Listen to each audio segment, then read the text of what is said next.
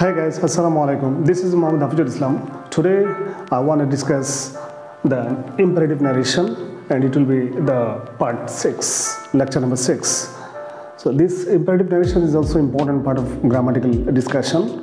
So I think everybody should listen to my video and my discussion seriously. And this narrative narration part is also actually very important for different types of exams for the British curriculum and the national curriculum, especially in Brit- national curriculum, students of JSC, SSC, HSC, and medical admission test, university admission test, and all other competitive tests. You know, um, narration is very much important for everybody. Now let's get started to know details about how to change from direct to indirect in imperative sentence for narration. Okay.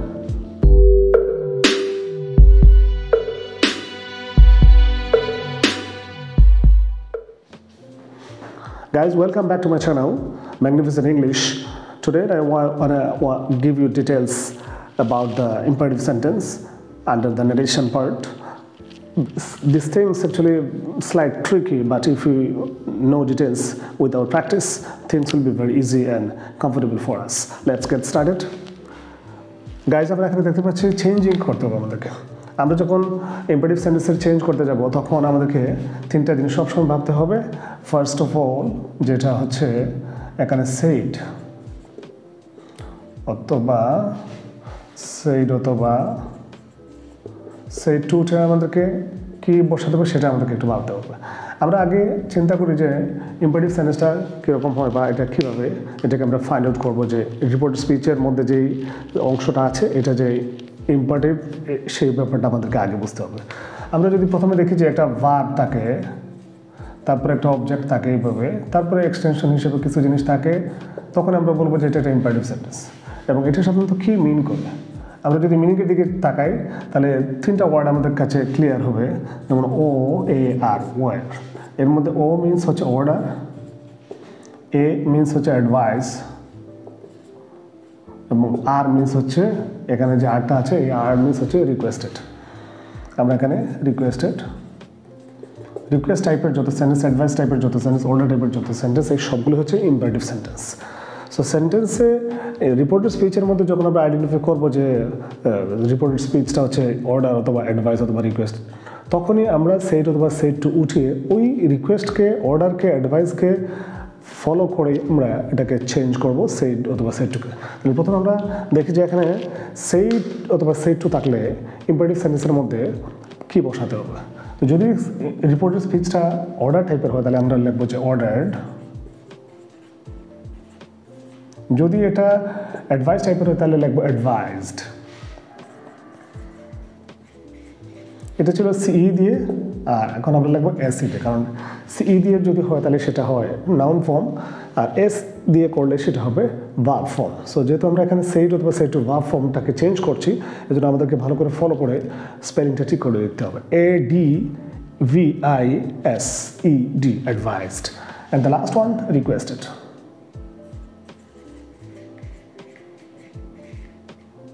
এই হচ্ছে আমাদের order set অথবা set টুটে order advised অথবা requested এই ওয়ার্ডসগুলো বসাতে হবে। দেন দু নম্বর হচ্ছে আমাদের যখন আমরা কমা অথবা C O double M comma inverted comma উঠিয়ে আমাদেরকে কী বসাতে হবে? ইম্পর্টেন্ট একটা জিনিস। প্রায় স্টুডেন্টস এখানে ভুল করে থাকে। তারা মনে করে যেহেতু সেইট বসাতে হয়, তো সব জায়গাতেই মনে আমরা সেইট বসাতে হবে না, এটা যদি ইম্পারেটিভ হয় তাহলে অবশ্যই মনে রাখতে হবে।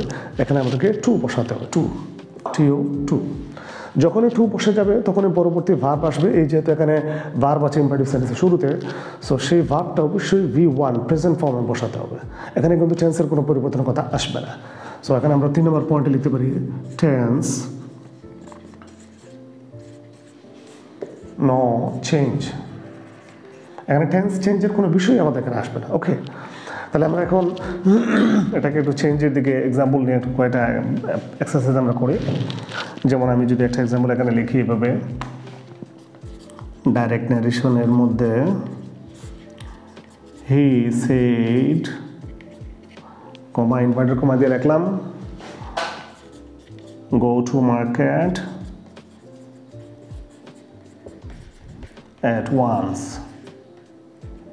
এটা হচ্ছে একটা command go to market at once তাহলে আমরা দেখতে পাচ্ছি এখানে গো আছে বা প্রথমে আছে, তারপরে go to then market object আছে এক্সটেনশন অ্যাডভান্স এই মুহূর্তে এক্সটেনশন হিসেবে এখানে আছে।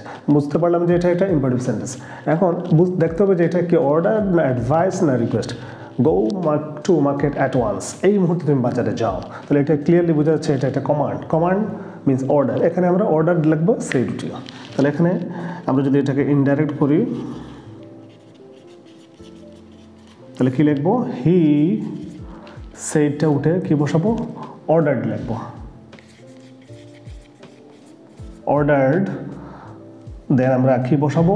কমা উঠে টু বসাবো। এই জন্য এখানে কমা এবং ইনভার্টার কমা এই অংশ কেটে আমরা কি বসাবো? টু বসাবো। আর টেন্স রিপোর্টেড স্পিচের ভিতরে যে টেন্সটা আছে, এই ধরনের টেন্সগত কোনো বিষয় পরিবর্তনের কথাই এখানে আসবে না। সরাসরি যে অংশটুকু আছে, এই অংশ বসে যাবে এবং এখানে নর্মালি ভার্ব প্রেজেন্ট ফর্মে দেওয়া থাকে। সেই হিসেবে আমরা ভি ওয়ান ফর্মটা যে অবস্থায় আছে, এই অবস্থায় লিখে ফেলব। Go to market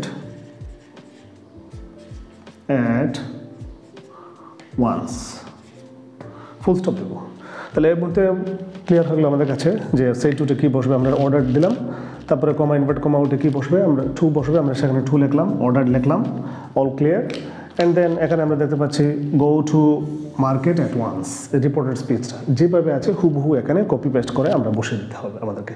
তাহলে আমাদের ইম্পারেটিভ সেন্টেন্সের ফার্স্ট এক্সাম্পল যেটা আছে, সহজে আমরা বুঝে নিতে পারলাম। এখন আমরা যদি আরেকটা এক্সাম্পল দেই, যেমন এখানে কমান্ড বুঝিয়েছে, তো কমান্ড ছাড়া যদি অন্য একটা এক্সাম্পল নিয়ে আসি, তাহলে সেটা আরও ক্লিয়ার হবে। ফার্স্ট অফ অল আমি এখানে একটা এক্সাম্পল লিখছি আপনাদের সামনে। গাইজ আমরা যদি লিখি এখানে হি said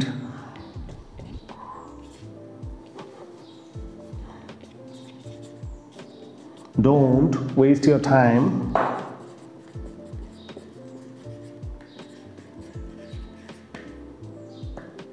এখানে একটা এক্সাম্পল দিলাম ডোন্ট ওয়েস্ট টাইম বুঝে যাচ্ছে? সময় নষ্ট করো না পরীক্ষার সামনে আছে। ঠিক এই ধরনের একটা সেন্স দিচ্ছে সেন্টেন্সটা এখানে আমরা দেখতে পাচ্ছি ডোন্ট ওয়েস্ট টাইম এটা একটা অ্যাডভাইস যদি অ্যাডভাইস হয়, তাহলে আমরা আগে লিখেছি যে অ্যাডভাইসটা এই সেইড বা সেই টুটা কী হবে? অ্যাডভাইসড যদি বোঝায় রিপোর্টের স্পিচটা তাহলে আমরা কী বসাবো? অ্যাডভাইসড বসাবো ওকে সো আমরা এখানে এটাকে একটা চেঞ্জ করি। যেমন ইনডাইরেক্ট যদি আমরা করি, তাহলে আমরা লিখব যে হি